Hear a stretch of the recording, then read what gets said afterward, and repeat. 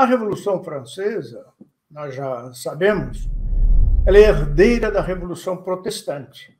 Os mesmos princípios filosóficos e religiosos da Revolução Protestante foram a Revolução Protestante que se deu no campo eclesiástico, foi uma revolta de Lutero contra o papado, contra a religião tal como ela tinha modelado o mundo. Ele aboliu as ordens religiosas que tanto tinham feito para a civilização do, do mundo. Ele aboliu os sacramentos, evidentemente combateu a devoção a Nossa Senhora, coluna central e importantíssima é, de toda a vida religiosa de um verdadeiro religioso, isto é, de um católico, era a filosofia de Lutero, era a filosofia do igualitarismo. Quer dizer, não precisamos de papa, não precisamos de direção feita ela através de Roma com os cardeais, os bispos, os dicastérios, resolvendo questões muito complexas de apostolado e de organização interna da Santa Igreja, ele negou isto tudo, dizendo que o espírito, que, que espírito é esse? Nós pensamos no Divino Espírito Santo, mas o espírito dirige diretamente cada pessoa. Cada pessoa recebe uma inspiração. A pessoa, se ela ama a Deus, ela ama no recôndito do seu coração. Ela ama a Deus com uma sinceridade toda própria, toda pessoal. Ela não precisa de um franciscano para orientá-lo, não precisa de um dominicano. Por quê? São os dominicanos e franciscanos fizeram regras séculos atrás. Eles não conheciam nem o avião, nem o ônibus, nem a internet que trazem novas necessidades para cada um de nós, e é segundo essa necessidade que nós amamos a Deus. Logo, franciscanos e dominicanos e, eh, e jesuítas estão para trás, podem ser abolidos. Naturalmente, franciscanos e dominicanos no tempo de Lutero já existiam e tinham feito motivos. Existiam, sobretudo, os beneditinos, que foram verdadeiro, os verdadeiros formadores da França. Mas essa ideia de revolta de Lutero, que eu, eu digo abreviadamente, os senhores já conhecem bem, essa ideia de revolta de, de Lutero foi se infiltrando na sociedade e atingiu o campo civil.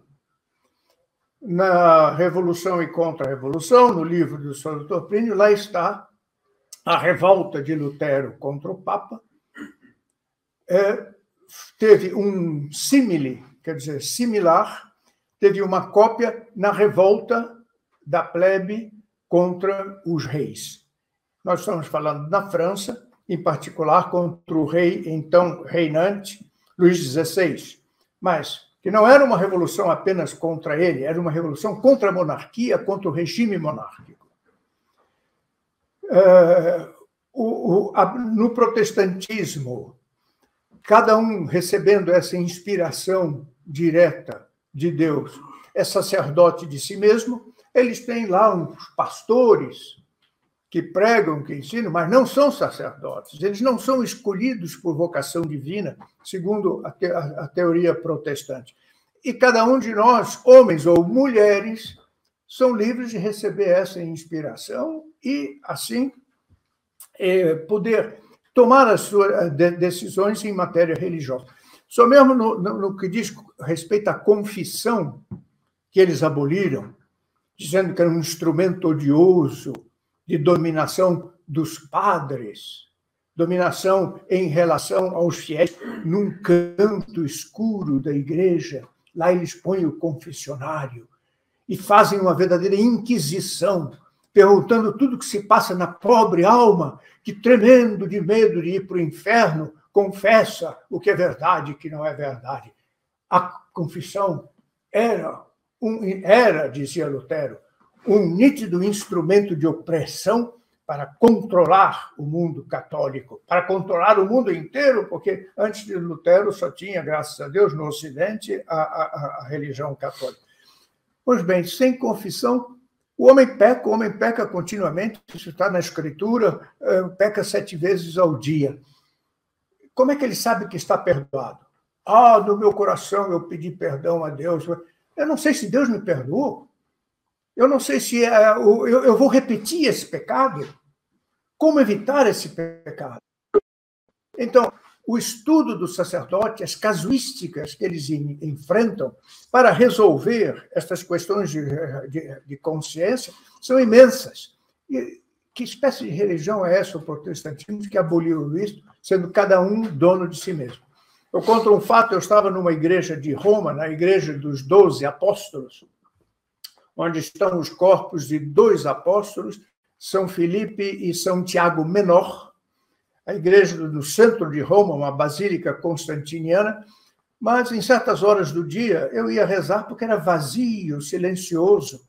E por causa do frio, ela tem dessas duas as portas basculantes. A gente empurra, não é fechado a chave, a gente empurra, abre a primeira tem um espaço, abre a segunda. São duas para proteger do, do frio de fora. E naquele silêncio interno da basílica, eu vejo de repente um movimento nervoso, um barulho. Velha basílica, quando se abre a porta, ela geme, treme e faz o que é muito pitoresco, também dando a ideia da tradição da, da igreja. Um, um, um barulho nervoso é uma moça que entra. A igreja estava vazia. Um confessionário. Nesse confessionário, uma luzinha vermelha acesa, significando que lá estava o sacerdote. Essa moça vai, ajoelha, reza primeiro para o altar, olha, vê-se que ela estava muito excitada, que algo a perturbava. Finalmente, ela, ela devia saber que naquela hora tinha um sacerdote. Ela vai ao confessionário, antigo confessionário, quando ela ajoelha, também as madeiras tremem e balançam, tudo isso muito pitoresco. E lá se fez silêncio, então. Eu continuei rezando e me esqueci desse fato de que tinha uma moça se confessando. Quando, alguns minutos depois, novo barulho de madeira que, que range, ela estava se levantando do, do confessionário, após uma confissão de joelhos, né, e sai e eu olho para ela, porque era o único ruído que tinha na igreja, inteiramente calma, tranquila. Tinha voltado a ela uma paz que ela não conseguiria, a não ser no círculo sobrenatural formado pela Santa Igreja e que abraça cada fiel nos momentos de necessidade. E eu pensei, aí está a, a, a negação da máfia, da mentira de, de, de, de Lutero, dizendo que é um canto escuro de opressão. Era um canto escuro. Doutor Plínio dizia, é uma das maravilhas da igreja, porque o que, o que é o confessionário? É o esgoto da igreja. É o, o que há de pior ali. E não tem limite. Se matou, não matou, se roubou, tudo ali sai. E o, o Santíssimo Sacramento está ao lado. Mas não há conflito. Não há conflito, porque é o mesmo Deus que perdoa, é o mesmo Deus que edifica com, com o Santíssimo Sacramento. É desses milagres que nós tendemos a não reparar dentro da Santa Igreja que, e que só a Igreja tem. Bem, Lutero quis acabar com isso. E na religião dele, naqueles que infelizmente adotam essa religião, ele acabou. A França era a expressão da igreja na sociedade civil. A França, no tempo da Revolução Francesa, quando a Revolução Francesa arrebentou em 1789, um edifício venerável, construído pela Santa Igreja sozinha durante 1500 anos. Isto há 230 anos atrás. Já tinham 1500, 50 gerações construíram o reino de França. Quantos santos incontáveis quantas ordens religiosas ensinando, amparando, aquelas que se dedicavam à pobreza, inúmeras, construindo hospitais que hoje, cinco séculos depois, são hospitais de luxo, considerados pela beleza que tem, como o Hospital de Beaune.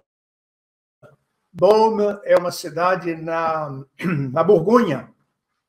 Os senhores ou estiveram lá, ouviram fotografia, até o telhado, fora são de telhas coloridas, formando desenhos muito bonitos, para psico, psicologicamente aliviar aqueles que sofrem, porque todo hospital tem, evidentemente, não pode deixar de ser uma certa é, expressão de tristeza e de, mesmo de medo, porque ali se tratam as doenças e quantos morrem ali.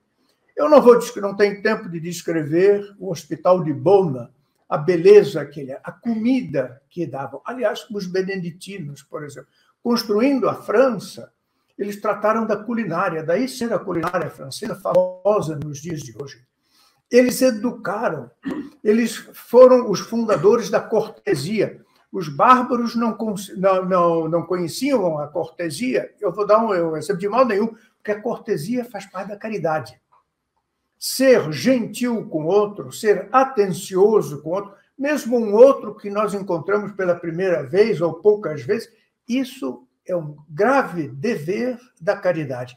E a França ela se tornou uma excelência em matéria de fórmulas, de delicadeza, de atenção em relação aos outros. Eu vou contar um fato que o doutor Plínio contou várias vezes, mas talvez o senhor já aconteça, por isso eu passo rapidamente. Um jovem estudante com sua esposa, eles tinham se casado recentemente, se casava muito cedo naquele tempo, eles teriam 17, 18 anos, eles eh, se casaram na cidade de Tours, eh, onde teve o famoso São Martinho de Tours, que até hoje exerce uma influência enorme em toda a sociedade europeia, não só francesa. Eles vieram de Tours para visitar Versalhes. Isso era o tempo pouco antes da Revolução Francesa. Luís XVI já era o rei. A sua esposa estava grávida, esperando o primeiro bebê. E foram num dia de verão, porque ela não devia se expor ao frio, são temperaturas abaixo de zero diariamente. Foram no mês de junho, julho, agora é verão lá, passear no pátio, ver Versalhes, admirar Versalhes. Nenhum nobre italiano, nenhum nobre alemão, nenhum nobre inglês se considerava inteiramente nobre se ele não tivesse visitado Versalhes a grandeza de Versalhes, o bom gosto de Versalhes, a sociedade que havia, é, que se formava em Versalhes, as, as conversas, a conversa foi as regras de conversa para escolher temas elevados e tratá-los com distinção. Uma conversa todo mundo, nós sabemos, de vez em quando se torna brusca. Não, não eram conversas em que um tinha que concordar com o outro. Não, não, não eles traziam assuntos novos, mas discutiam com grandeza, discutiam com serenidade. Então, a visita aniversária é obrigatória. Voltemos ao estudante com a sua jovem esposa grávida. Todos os bancos dos jardins de Versalhes que estão lá ainda estavam ocupados. Exceto um lá longe, eles viram: disse, olha, tem uma senhora sentada ali, vamos lá. Tem um lugar ao lado dela. E chegaram pedindo licença, pode sentar? Ah, pode, disse a senhora que estava lá. Mas esta senhora que já estava lá disse: Mas esta moça não está agasalhada suficientemente. Os pés dela têm que estar, estar, estar frio. Fez um sinal, chamou uma das serventes do palácio de Versailles e mandou buscar almofada e cobertor. Nisso, disse: Mas quem é esta senhora que pode mandar numa das serventes do grande de palácio de Versalhes era a própria rainha que estava ali. Era a rainha Maria Antonieta, que, cumprindo com seu dever de caridade, então ela socorria aquela pobre. Isto era habitual. Há um livro de um grande escritor, Lenôtre, Lenôtre é somente sobre esses fatos que se deram na Velha França. A Velha França era a França do velho regime, do ancião regime, regime que foi destruído pela Revolução Francesa. Ora, a Revolução, a Revolução Protestante não podia suportar isto. A França, não só a França, Não, esse é um, é um objetivo universal da Igreja Católica. Qual é esse objetivo? Que era francês e que era universal. A sociedade civil, quer dizer, as famílias, as casas, o trabalho, o exército, a universidade, tem que ser modelados segundo um seminário do céu. Eles nos preparam para, tendo vivido na terra, conquistarmos o céu, ou sermos levados para o céu nessa imensa sociedade de almas, no centro da qual está a própria Santíssima Trindade, a seu lado, Maria Santíssima.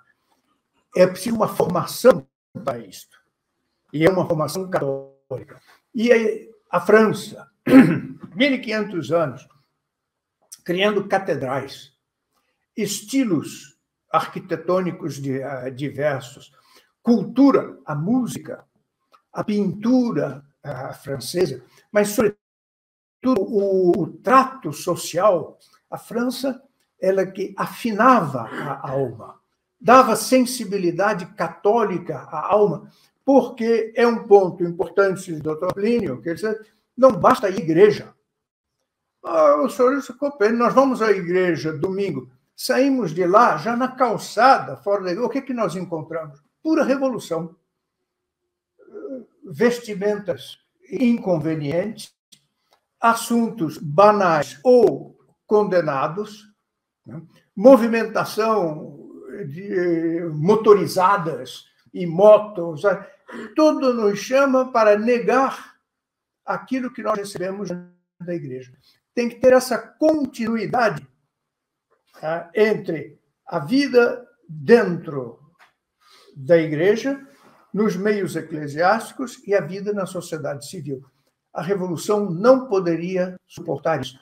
Tendo destruído isto através do protestantismo, tinha que destruir isso na sociedade civil. E o protestantismo que fez foi aos poucos infiltrando a sociedade francesa, com muita inteligência, diabolicamente inteligente, foi modificando os espíritos. Que argumentos? Argumentos que nós conhecemos. Oh, a igreja exagera. Isso aqui está exagerado. Eu me sinto sufocado na igreja, sufocado na igreja. 1.500 anos de catolicismo é, é demais, vamos, ah, ah, ah, vamos ver. Né? Essas ordens religiosas, elas estão cansadas. E escolheram sacerdotes para fazer isso. Um deles é muito, muito importante, foi Fenelon. Fenelon era arcebispo de Cambrai. Cambrai é uma cidade no norte da França, muito inteligente. Ele fundou uma doutrina já luterana, mas não dizia que era luterana.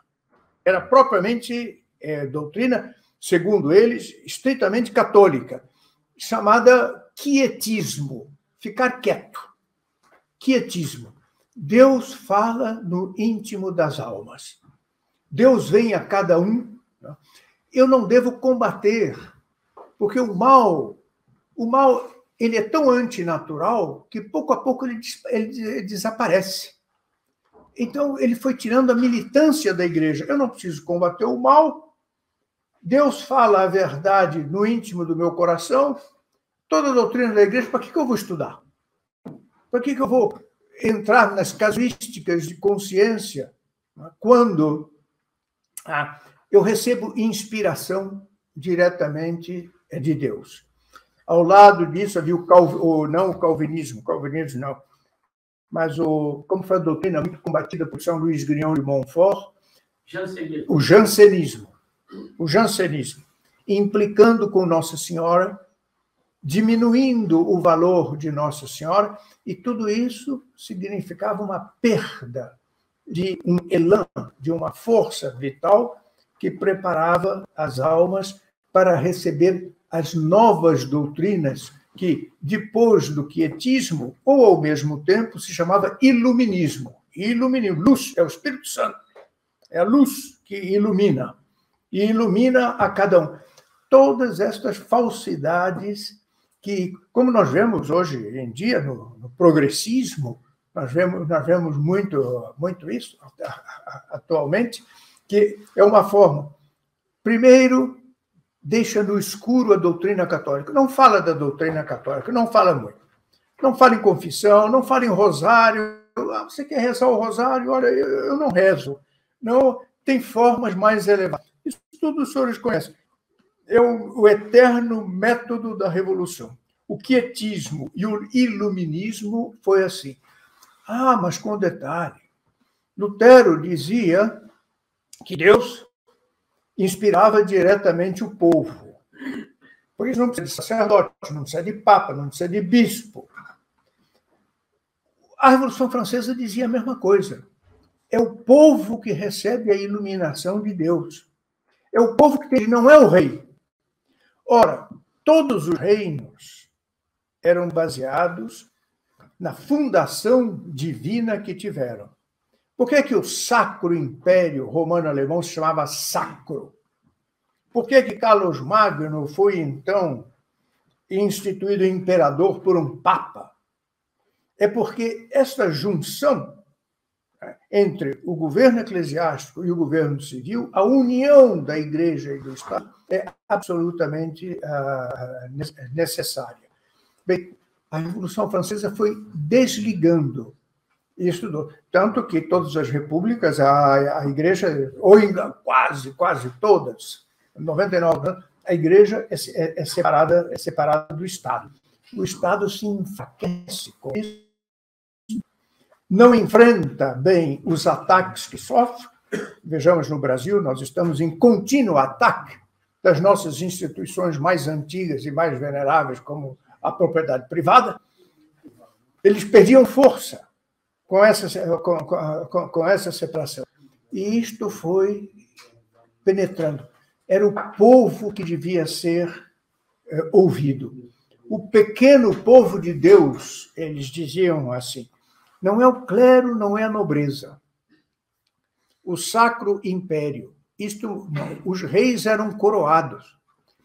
O rei de França, a coroação dele nem se fala. Os senhores sabem que ele era coroado na cidade de Reims, e que na Lorena e Reims, depois da coroação, era uma semana de cerimônias. Ele recebia as ordens menores. O rei de França era diácono. Ele chegava quase a receber a ordenação sacerdotal, não podia. Ou a, ou, ou a ordenação, a sagração episcopal, não podia. Não conta, ele era rei ele governava a, a sociedade civil. Mas no final da consagração, da sagração do rei, o que acontecia? Ele puramente fazia milagres, que os senhores conhecem, tocando aqueles cancerosos. Havia uma, um câncer de garganta naquela época, e de todo o sistema visual, nariz, ouvido, chamavam escrófulas, escrófulas. E ele tendo confessado, comungado, ah, recebido essas ordens que ele tinha que receber em estado de graça, saindo da catedral, da catedral de Reims, ele tocava os doentes, dizendo: "O rei te toca e que Deus te cure". E quase todos eram curados, não todos, porque dependiam da, também das disposições uh, individuais mas eram pobres que vinham da França, evidentemente, de toda parte, com a dificuldade de transporte como existia, mas vinham da Bélgica, vinham da Alemanha, da Inglaterra. Eram filas enormes. Muitas vezes o mau odor que exalava daquelas, daquelas escrófulas, algumas abertas, né? algumas com micróbios, quer dizer, não micróbios, não, bichos à vista a nobreza não suportava ficar em torno deles. O rei ficava até o fim. E ouvindo os cantos e o júbilo daqueles que eram curados, ou na hora, ou seriam curados, uh, curados dias depois. O que era isso? Era a chancela de Deus dizendo: Eu quero este homem como chefe de Estado. Ele é o rei. Que a prova maior do que isto, do que este milagre que se eh, realizava na França, para mostrar a união da Igreja é, e, e, e do Estado.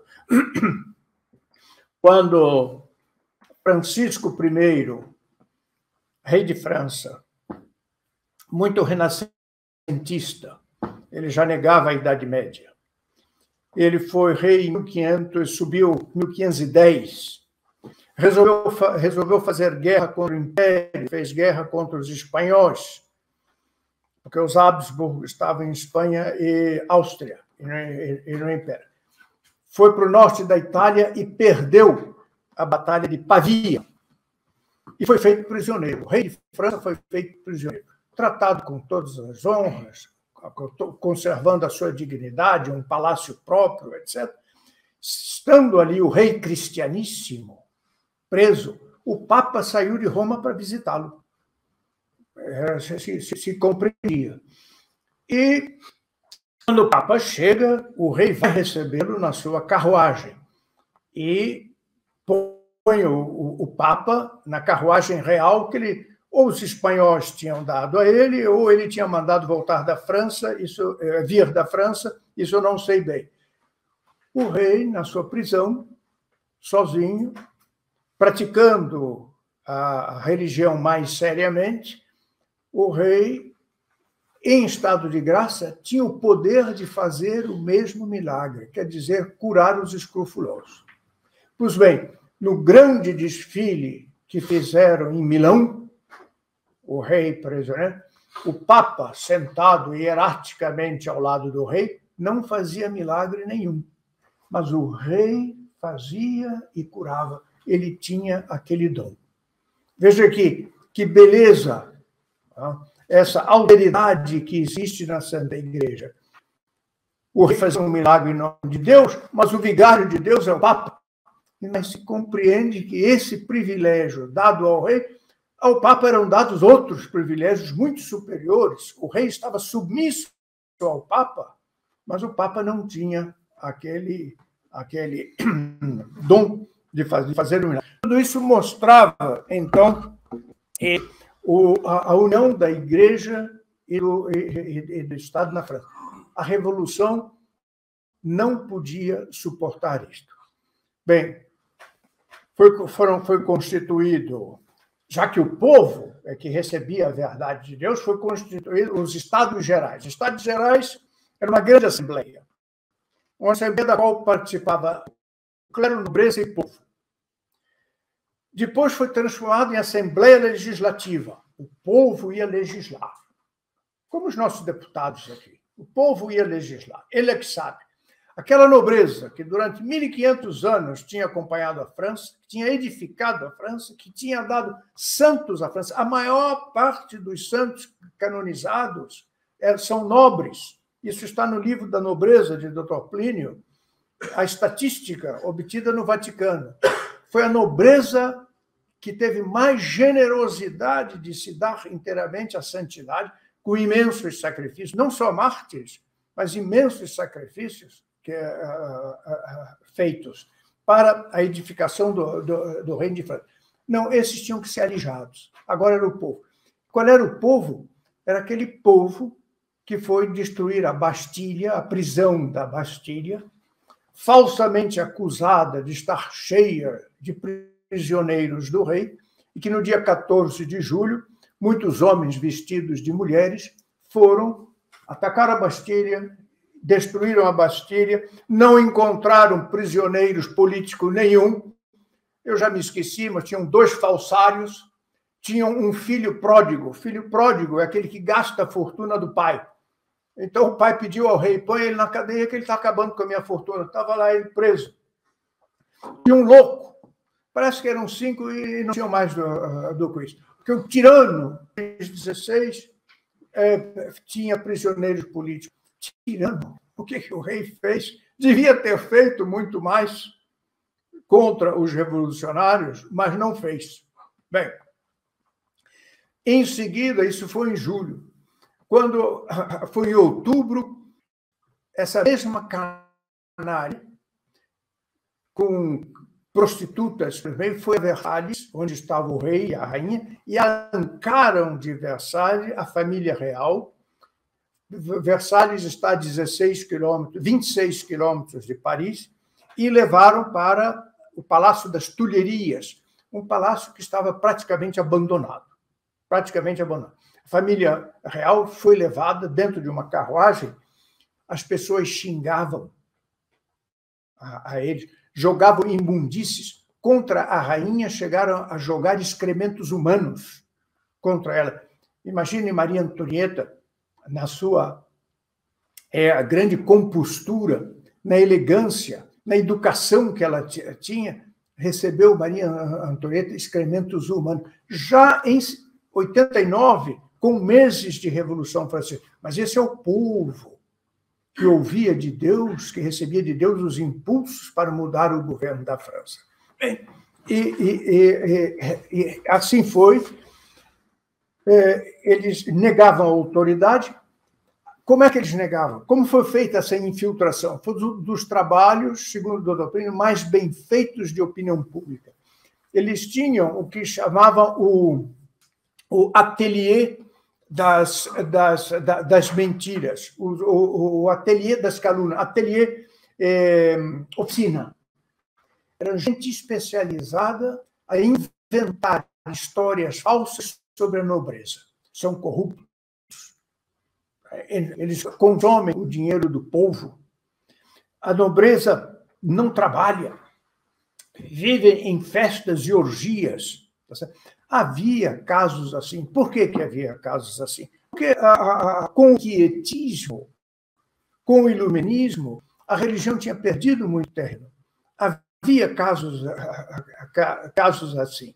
Mas este ódio foi aumentando de tal modo que a Assembleia Legislativa, e depois, em 1793, se transformou na Convenção, aí a Convenção dirigida por Danton, dirigida por Robespierre, verdadeiros demônios, mataram. Criaram uma guilhotina e a guilhotina funcionava dia e noite, dia e noite, dia e noite. Entre abril de 1793 e julho de 1794, 12 mil pessoas foram guilhotinadas na França. 12 mil das quais 7 mil eram operários e camponeses. O que fizeram? Não eram nobres, não eram nobres. Que mal eles tinham feito? Eram católicos.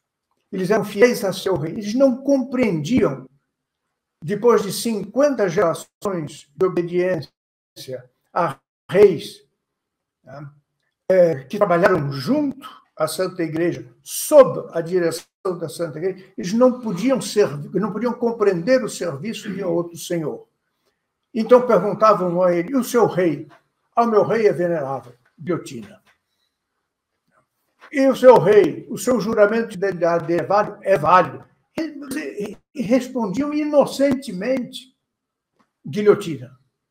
E assim foram guilhotinados 12 mil entre abril de 93 e julho de, de 94. 7 mil deles eram camponeses, os outros eram eclesiásticos, e da nobreza bem menos. É verdade, a nobreza tinha feito mal, tinha fugido, tinha saído da França, aliás, até mesmo apoiado pelo rei.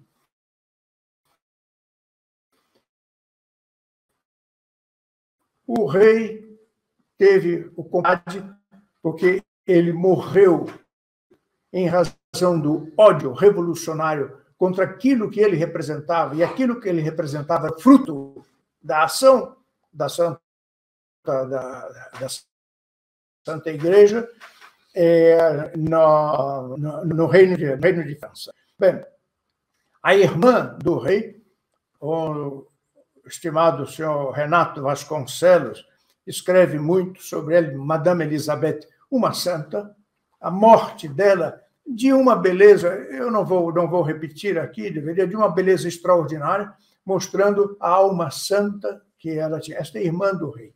Uma outra irmã já está declarada bem-aventurada, Santa Clotilde, mas ela era casada com uh, um italiano e não, não, não estava, já tinha como rainha, ela foi para o país de seu, de seu marido. Essa virtude existia nessa corte, que, segundo as, os detratores, era uma, era uma corte de, de corrupção. A importância da Revolução Francesa é, reside muito no elo de união uh, existente entre a Revolução Francesa e o comunismo. A última fase da Revolução Francesa é chamada, em particular pelo grande escritor francês Pierre Garçot, a fase comunista da Revolução Francesa. Isso se vê sobretudo em Lyon. Lyon, a cidade de Lyon, é a segunda cidade da França, até hoje. Já era, ainda é até, até hoje. Católica. Lyon era profundamente católica. E foi nomeado para governar, governar Lyon um demônio chamado Fouché, Joseph Fouché. Esse Joseph Fouché, saído do seminário, ele era seminarista, foi perdido no seminário pelas doutrinas do quietismo de Fenelon, pelo jansenismo, eh, que atacava, em particular, a devoção a, Nossa Senhora.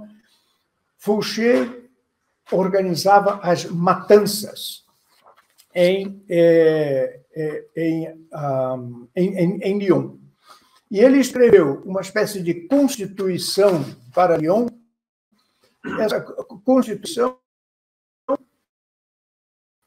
é tão comunista que ela antecede e ela ultrapassa em maldade o manifesto de Marx e de Engels de 1848. Era um ódio puro a toda desigualdade. Ele proibiu a Igreja Católica, queimava as igrejas, obrigou os padres a se casarem. Cada padre casado não podia esperar nove meses para ter o primeiro filho, tinha que adotar um filho imediatamente. Dentro de um mês, ele, ele, ele, ele tinha que, que, que, que ser pai. Ele proibiu, confiscou todas as fortunas, todos os homens tinham que ter o mesmo salário, e esse salário que ele determinou custava metade do salário existente em 1789, no momento em que eles é, começam a, a, Revolução Francesa, é, com a invasão da Bastilha e retirando a família é, real de Versalhes e levando, e levando para as, as Tulherias. Esse salário era a metade. Os ricos, além de perderem as suas, as suas propriedades, propriedades, digamos, casas e palácios, tinham que fazer doações. Doar o que eles tinham: cavalos, carruagens, eh, vestidos, joias. Era um empobrecimento total. E isto, quem não obedecia era guilhotinado. Naquele mesmo período que eu, eu falei, de 1793, de abril a julho de, de, de, de 94, em que na França 12 mil foram, foram ah, guilhotinados, em Lyon foram 4 mil. Mas a guilhotina era lenta. Ela não trabalhava no ritmo necessário para exterminar os não revolucionários. Eu não estou dizendo contra-revolucionários, estou dizendo os não revolucionários. Porque mesmo os revolucionários, um grande número de revolucionários foi morto. Morto como? Se a guilhotina era lenta, fuzilamento. Então são famosos os fuzilamentos de Lyon. Ah, em massa, eles chamavam de fornadas. Hoje tem uma nova fornada. Então, 70 pessoas, 50 pessoas eram postos em frente a batalhões de fuzilamento e morte. Mas muitos deles diziam: Eu ajudei a revolução. Ah, dizia Fouché, mas você não foi suficientemente radical. Você aderiu a nós, revolução, por interesse. A sua mentalidade, eu vejo no fundo da sua cabeça a monarquia. Para você, para lavar a sua cabeça dessa imundície monárquica, só mesmo sangue. Então, guilhotina e fuzilamentos, guilhotinas e, e, e, e fuzilamentos sem parar. Nos restaurantes, quando as famílias, aí as famílias que tinham liberdade, pegavam o menu para ler qual era a comida do dia, tinha o nome dos que iam ser guilhotinados naquele dia, era parte do menu. E, e, e, às vezes, e alguns deles eram assinalados com sangue, mas sangue, sangue humano, da guilhotina anterior. Veja a, a, a, a loucura que se dá numa sociedade quando ela nega os princípios católicos. Nós estamos vendo isto em países muito próximos de nós. Acabou-se o dogma, acabou-se a lei. O que era pecado já é digno de paradas é, ostentatórias do pecado e da abominação. O homem, Deus enlouquece o homem assim. E era toda a sociedade, infelizmente, infelizmente. Este Fouché, que fazia essas mortandades, deixa eu ver o relógio, que fazia essas mortandades em, em Lyon, ele tinha sido eleito pela cidade de Nantes, cidade contra-revolucionária, vizinha a Vandéia, se é, talvez seja a Vandéia, onde foi fuzilado o grande vandeano é, Charette, Charrette de la Contrie, um grande herói, foi fuzilado sentado, que já estava ferido. Bom, é, é, Nantes elegeu Fouché para defender a propriedade privada. E dois anos depois, ele elegeu para a Assembleia Legislativa, para a Convenção, para a Convenção, em 1793. Um ano depois, ele já arrasava com a, com a propriedade privada e estabelecendo, pelo menos em Lyon, porque Lyon, porque Lyon era muito católico, um regime como nunca existiu na Rússia. A Rússia não chegou a adotar um sistema tão feroz, a, a Rússia staliniana, tão feroz como, como a de Fouché. É, quando volta ao poder o povo cansado de sangue e de barbárie, chama de volta ao poder sobe o rei Luís XVIII, irmão de Luís XVI. O rei não, Luís XVII é o filho de Luís XVI e tinha sido eliminado. Quer dizer alguma coisa? Uma pessoa que entrou aqui está chamando aqui de cruzados de Nossa Senhora. Cruzados? Uma pessoa online diz que isso aqui são os cruzados de Nossa Senhora. Ah, bom. Agradeço, temos que ser, temos que ser. Mas, então, o, o, sobe o rei Luís XVIII, Bourbon, irmão de Luís XVI, meu Deus, da mesma família. Quem é que ele nomeia ministro da Segurança? Fouché. Como é possível que Fouché tenha sido ministro do rei Luís XVIII? Ele votou, Fouché, Fouché votou a morte do rei, porque o rei foi guilhotinado, um simulacro de votação do, do, do, dos revolucionários. Então, Fouché, de revolucionário assassino, passou a ministro do rei Luís XVIII, o, o, rei, o rei que trazia de volta a restauração ao governo de França. Não foi aí. Fouché depois foi servir Napoleão. Napoleão, contrário, usurpador, se fez imperador contrário ao, ao governo orgânico representado pelos Bourbons. E assim, e no Chateaubriand, um ator, perdão, autor que tem coisas admiráveis, ele escreveu razoavelmente sobre a Revolução Francesa, também completamente desorientado. Ora servia um, ora servia outro, porque ficou ainda da guilhotina e do sangue aquele horror e aquele medo que um dia, se pudermos conversar, eu mostrarei como esse medo persiste até hoje, em 2023. O Stefan Zweig, que escreveu um belo livro sobre Maria Antonieta, morreu no Brasil, ele habitou aqui no Brasil, ele diz: a Revolução Francesa foi uma, uma empresa de sangue e de extermínio. Tão contável, tão, tão, tão, tão louvada por toda parte, Eu nasci numa cidade, em Mato Grosso, Campo Grande. A rua principal é Rua 14 de Julho. E eu, menininho bobo, tinha 14 de julho como um, uma veneração. Com os jesuítas, eu fui estudar no Rio de Janeiro, com os jesuítas, eu me lembro do professor dizendo: a Revolução Francesa, nada de mais justo. O rei vivia em Versalhes, dando festas e esbanjando, e o povo tendo que trabalhar para sustentar. Eu acreditei, eu acreditei. Quer dizer, o ateliê das calúnias, quer dizer, as oficinas das calúnias, ainda subsistem até os dias de hoje. Até os dias, os dias de hoje. E, em seguida, a revolução se, se propagou para o, o mundo todo.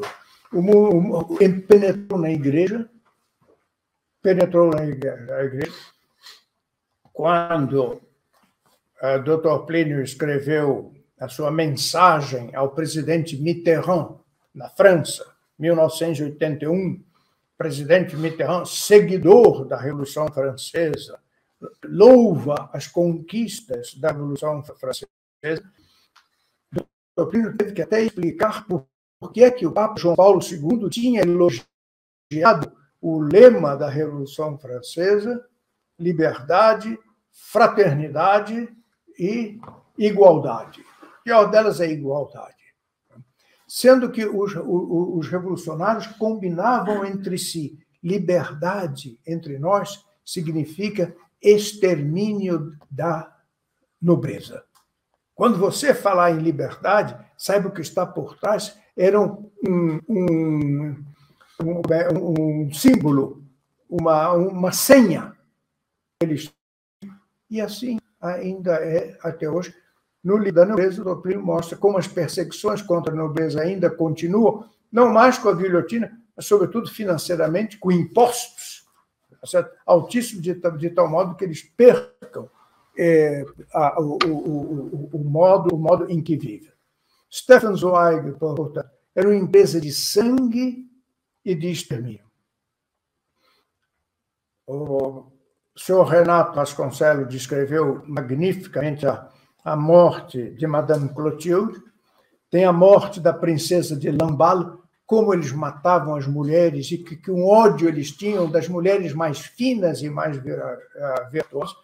Os sacerdotes e as freiras, nessa cidade conservadora de Nantes, que eu, que eu eles promoviam os casamentos místicos. Imagina os revolucionários criando esse nome, os casamentos místicos. Pegavam uma freira, a despiam inteiramente, inteiramente despida. Pegavam um padre, inteiramente despido. Amarravam um junto, colados, corpo, e jogavam na água quer dizer, convidando ao pecado tá? de maneira a, a, a, abominável para lançá-los no inferno. Como? O pessoal de lá quer fazer perguntas também. Bom, então, ah, aqui está é, este, este, este aspecto da Revolução Francesa, o início da Revolução Francesa, que perdura até hoje. Sobretudo, sobretudo por causa do igualitarismo liberdade, igualdade, fraternidade. É em nome do igualitarismo que se promove hoje. Não há mais diferença entre pessoas. Igualdade de sexo total, igualdade entre religiosos total, igualdade de vestimentas, etc, etc. Isso está no livro Revolução e Contra-Revolução. Bem, por causa do tempo, nós ficamos aqui. Eu sei que está incompleto, mas espero que as perguntas que são feitas completem um pouco as lacunas que eu acabo de deixar. Podemos passar a pergunta. Então. Bom, a presidente tem precedente, precedente, precedência, não? Se tiver pergunta, Bom, senhor Nelson tem uma, ah, sim. uma pergunta. Senhor Rodrigo. É, tinha algo de tem algo de infestação diabólica, né? Algum exorcista, algum comentário, algo assim. Eles tinham alguma coisa de envolvimento com satanismo também, esses que faziam essas coisas horríveis de matar as pessoas daquela forma. Sim, sim. eles tinham uma doutrina satânica oculta, não? e que muitos dizem, por exemplo, que o rei Luís XVI ele foi morto em sacrifício humano, que ele não fez nada contra a revolução. Infelizmente, ele ajudou a revolução, ele foi uma fraqueza. Nós o veneramos porque ele morreu mártir. Mas a atitude dele durante a Revolução Francesa foi vergonhosa. Então, dizem que esta ciência oculta por trás da, da Revolução Francesa né, promoveu a morte do rei como um sacrifício humano.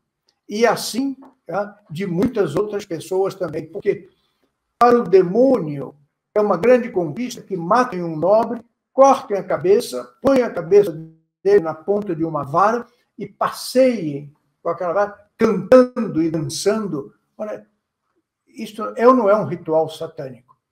A igreja manda respeitar o corpo de todos, não só o católico, mas de todos. Um católico que vê um morto num campo, na rua, onde for, procura dar uma uh, sepultura cristã. Agora, espedaçar, estraçalhar, brincar, okay?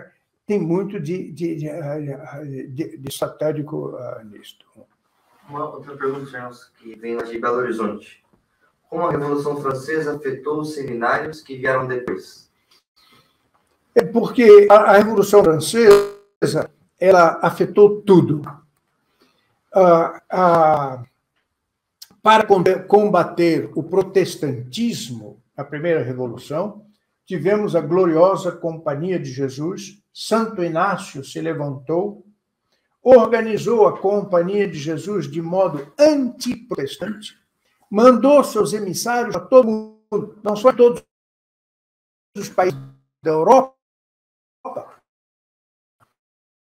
mandou São Francisco Xavier para a Índia, para a China, antídoto aqueles povos antes que chegassem lá o protestantismo, porque outras nações, ingleses, holandeses, foram ao Brasil, vieram ao Brasil os holandeses para fazer, fazer guerra aqui, protestantes.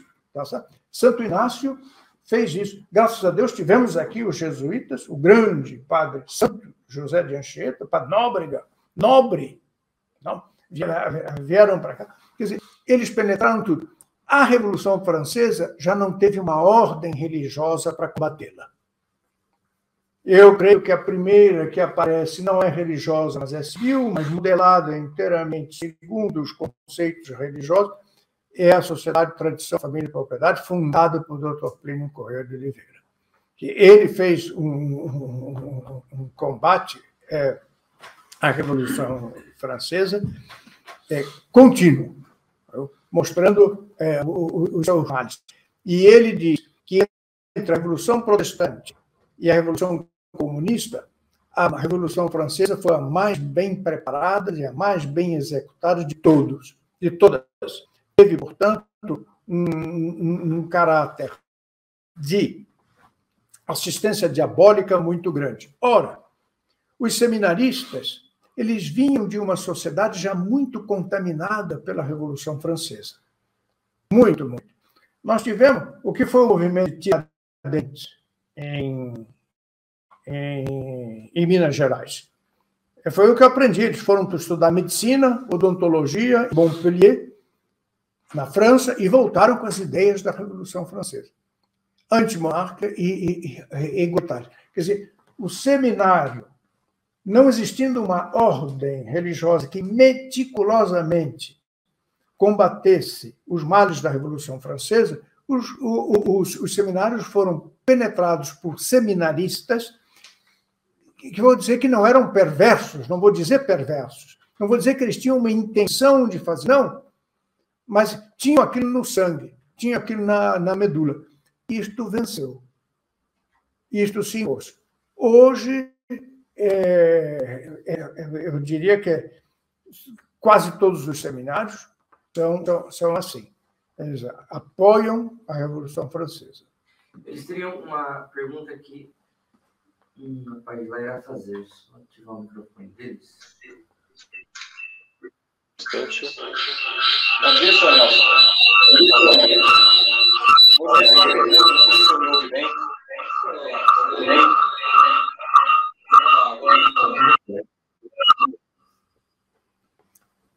infelizmente não deu para entender, estava entrecortado o, a, a pergunta. Infelizmente não deu para entender. Ele, ele vai escrever, senhor Nelson. Ah, tá bom. Porque a voz do nosso caro amigo, ela subia e descia e apagava algumas vezes.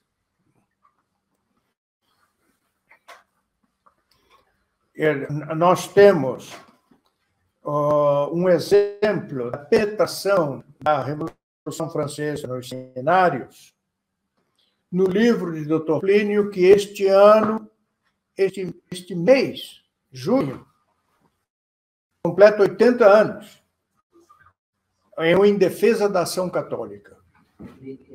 Ele escreve isso na, na, na introdução do livro, no prefácio do livro. Eu vou me ocupar desses problemas, eu não sou eclesiástico, mas é que a esfera eclesiástica está sendo invadida pelos princípios da Revolução Francesa, liberdade, igualdade e fraternidade. Está no início do livro. Só por isso ele tomou posição. É, 80 anos atrás. Começa. Ele, vai, ele mandou um áudio. Ô, seu Nelson. Ah, sim. Salve, Maria. Ô,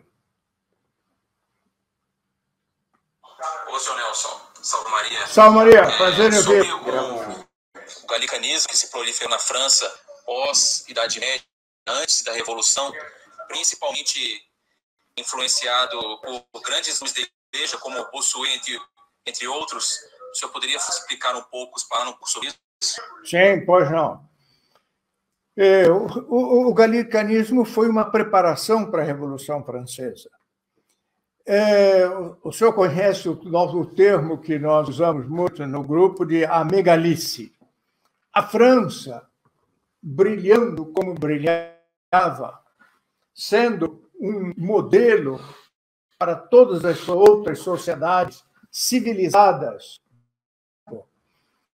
é, se pôs na cabeça de que podia viver sozinha, sendo ela a filha primogênita da igreja. Essa filha já tinha aprendido tudo e não precisava mais do Papa.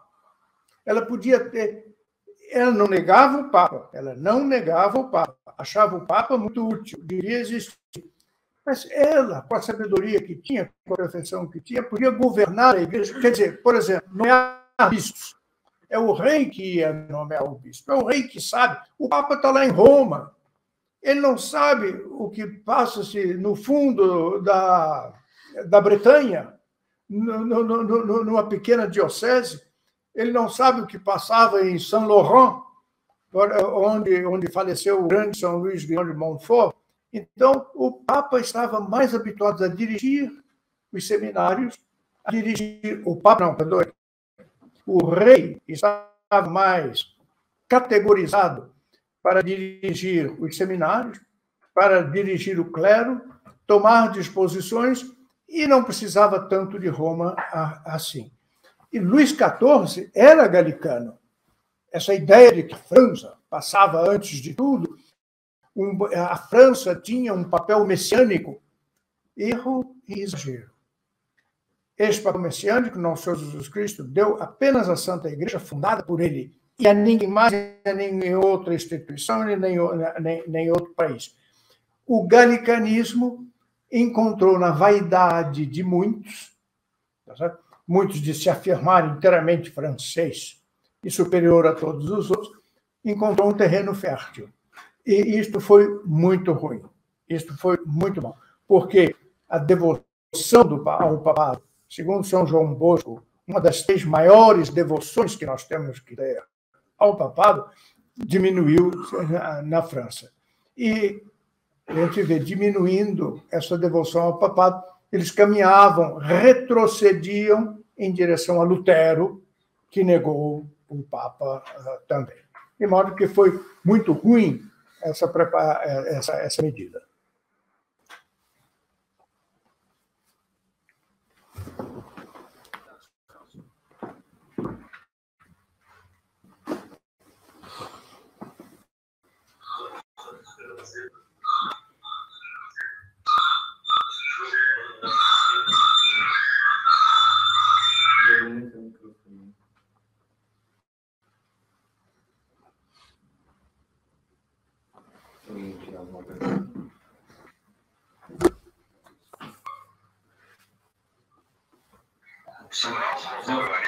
Só Maria.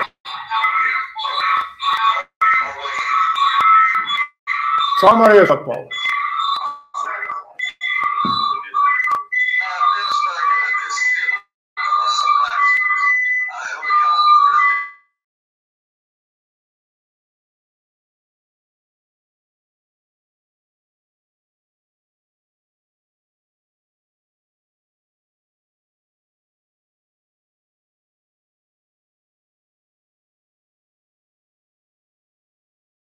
Um, um cumprimento saudoso a todos.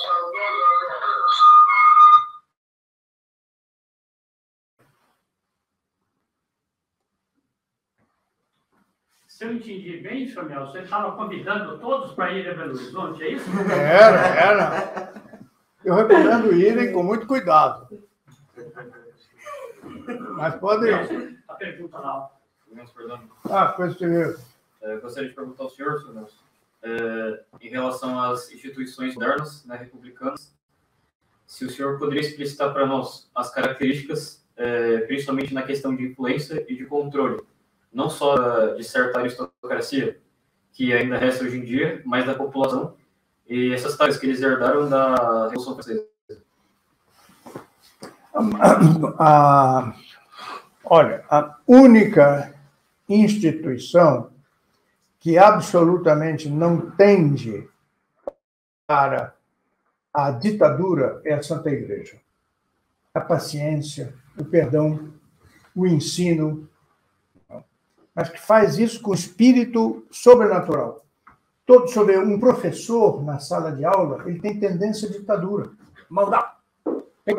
Talvez hoje, como a filosofia mudou e cada um deve desaparecer. São alunos que falam, agora tem a, um comitê formado pelo, pelo, pelos alunos. Talvez tenha mudado isso. Mas toda autoridade. O que, é que nós estamos vendo no Brasil atualmente? É um, um, um controle cada vez mais ditatorial. Porque o, o socialismo é ditatorial porque ele não tem nem a caridade nem a paciência de explicar aos não socialistas por que é que eles estariam errados. Não estão errados. Mas a igreja sempre explicou, nunca um missionário. Quantos deles eram nobres iam para a África? Bom, São Francisco Xavier. O que, que eles comiam, como se vestiam, fome, perseguições, é?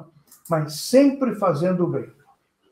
Veja os, os islamitas. Os islamitas, hoje eles, o Islã praticamente domina a Europa, mas é pelo terror, pela espada, pelo atentado.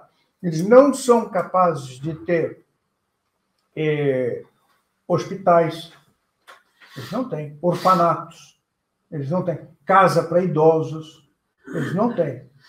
Porque eles não amam. Nós amamos ao outro, ao nosso próximo, por amor de Deus fora do amor de Deus, cada um que está em frente de nós é uma hiena que quer me pegar e que quer me fazer mal. Para nosso exemplo, nosso Jesus Cristo. Na subida do Calvário, não teve uma reclamação. Não teve para um que disse, bandido, eu te fiz um milagre e, aconteceu isso, e agora você me joga pedra. Tá? Quer dizer, atendesse à exposição do seu Frederico ontem, lá na sala do Rei de Maria, nós, nós tendemos para uma ditadura, porque acabando a regra superior de comportamento, que cada um que manda é ele próprio. Eu, eu, só existe o meu interesse, não existe o interesse do outro. Isso é o caos e a anarquia. Assim que caiu o Império Romano, os romanos ministros tiveram princípios mas depois per perderam os princípios e só subsistiram porque, depois de terem sacrificado os cristãos, Dr. Pino chamava atenção entre a morte de nosso Senhor Jesus Cristo e a liberdade que foi dada à igreja, que no início a igreja não tinha liberdade, ela se refugiava nas catacumbas, ela não podia rezar em público. Passaram 300 anos nesses 300 anos, houve mais ou menos 6 milhões de mártires. Nunca a igreja pregou a revolta. Ao contrário. São Paulo diz: o militar tem que obedecer, o militar cristão deve obedecer ao seu chefe, ainda que ele seja pagão. Nunca fez um complô para derrubar um rei, uma autoridade. Nunca. Sendo martirizado, sendo martirizado, sendo martirizado. Isso é uma belíssima é, característica da igreja. A igreja subsiste até hoje, dois mil anos. Os outros que não têm esse fundamento no sangue, ontem nós comemoramos a festa do preciosíssimo sangue de nosso. O único fundamento da sociedade é o sacrifício. E, e, e isso eles, absolutamente não, não têm. Daí, não se responde a sua pergunta. Pode repetir, se quiser. É, responde sim, boa parte. É, boa parte. Para entender essa questão né, da quebra de hierarquia, ah, é. sim, mas é, mais levadas para as é, instituições mais modernas. Então, o senhor citou, por exemplo, né, os colégios, onde isso é muito frequente. Ah, sim. Nas universidades, no exército, entendeu? Em, em toda parte. Não há, não há o, o, o, obediência. Porque o egoísmo é tal, se a autoridade me manda fazer alguma coisa e eu não quero, eu me revolto contra a autoridade.